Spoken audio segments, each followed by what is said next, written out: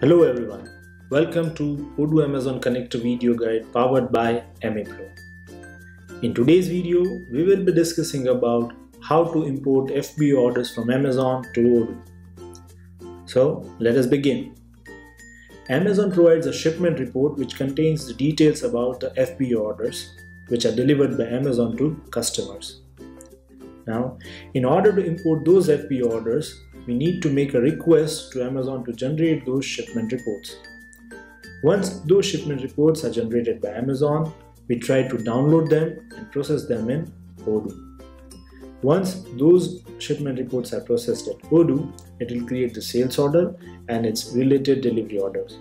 Under that delivery orders, it will update the tracking reference number details in it because these orders are already delivered by Amazon. Now, there are two possible ways to get those shipment reports from Amazon. First, that is the automated way using the scheduled jobs. Second, that is the manual way. So, let us see one by one both the methods. So, let's start with the first one that is the automated way. For that, we go to Amazon. I go to configuration and Amazon settings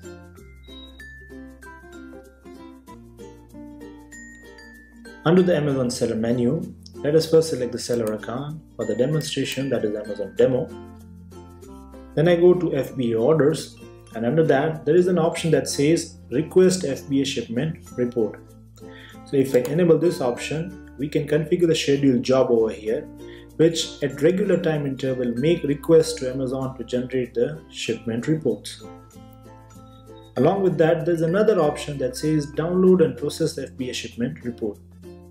So if the request which has been generated by this schedule job and if the reports are generated and now if I enable this one so here you can configure another schedule job which will download all those generated shipment report from Amazon and will process it in Odoo. So this was the automated way. Now let's look the manual way. So for that you go to FBA orders and returns FBA shipments. So this is the listing of all those shipping details over here. Let's get into the details. So on the screen you can see there are several fields. So first one is seller. So here we need to select the seller account for which we are generating the shipment report. Similarly, there's a date. So under here, this is the date range for which we are generating the shipment report. And now as this record is a new one, the current stage is the draft. Once we click on the request report, it will generate a request to Amazon and it will change to submitted. Now, if you want to know what is the status of our request which has been generated at the Amazon, we can click on the check status button over here. So if the request is still under the preparation by Amazon, it will change to in progress. And if that request is generated by the Amazon or fulfilled by the Amazon, it will change to done. So that means the report is generated by Amazon. And you can click on the get report button so it will fetch up that report and process the orders from it. Now, whether that's an automated way or the way this is the manual way. While processing those orders, we need to keep in mind several configuration. So under the Amazon seller configuration, there is an option that says FBA workflow. So when those orders are processed, it will consider this workflow option over here and based on that, the orders will be processed.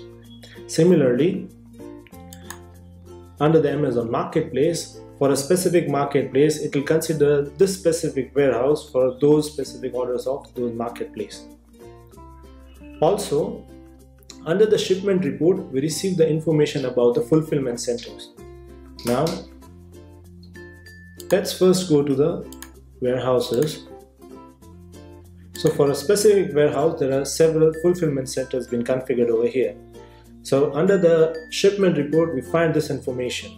So if we find this information under the shipment report, so while processing those orders, based on the fulfillment center code we try to find out that warehouse and that warehouse will be set for those orders. So these are the two ways of getting the amazon shipment report in odoo. So first one was the automated way by schedule job. Second one was the manual way.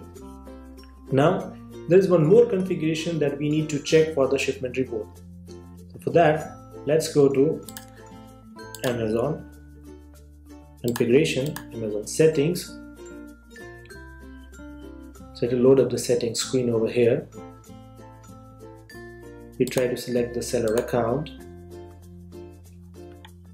and we go to FB order section.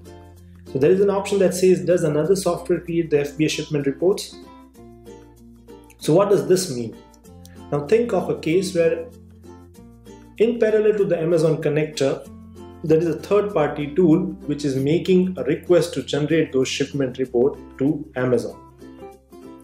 So in that case, if you don't want that Amazon connector should make a request of generating those report, you can just enable this option.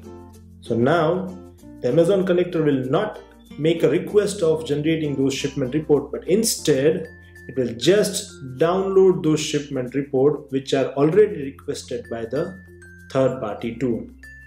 So now if this option is selected over here, you can just go to Amazon Odoo menu and list shipping report. So here you just need to specify for which seller account you want to download those shipment report and here you need to specify the date range. So here it will not request a shipment report to Amazon but instead it will just download the report and process it. So in summary, we have seen that how we import the FBA orders from Amazon by making a request. So we saw the two possible ways that is the automated one and the manual one. Thank you very much for watching the video. We hope the video was useful. Emipro specializes in customization, consultancy and support for any Odoo services. Feel free to contact us on www.emiprotechnologies.com.